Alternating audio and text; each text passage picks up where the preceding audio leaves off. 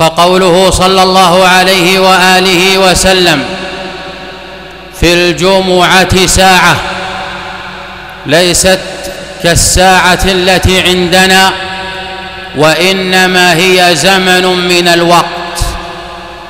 ذلكم الزمن في أجزاء هذه الساعة وقت يستجيب الله عز وجل فيه لمن دعاه.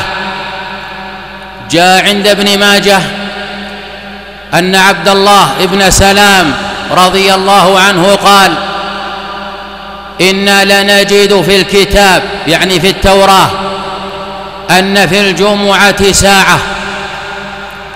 فقال صلى الله عليه وآله وسلم أو بعض ساعة. فقال عبد الله صدقت يا رسول الله.